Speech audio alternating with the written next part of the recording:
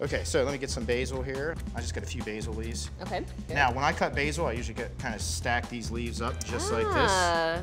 This is actually called chiffonade, and I just roll it right up. Oh, fancy French name for Yep, and then just a basil cigarette. just like that. Cool. Watch the award winning show Recipe Rehab Saturday mornings on CBS.